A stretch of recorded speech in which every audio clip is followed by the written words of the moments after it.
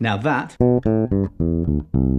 and this fancy fills, little melodic sections in a bass line, minor pentatonic, um, E minor pentatonic or G major pentatonic, both the same scale, they're related. Whichever shapes you use, they're the same, really. And if you inject that sort of playing into your lines, it can sound quite soulful and quite bluesy, and it's definitely something I lean on a lot, is using that pentatonic set of notes over a chord progression. Works almost every time.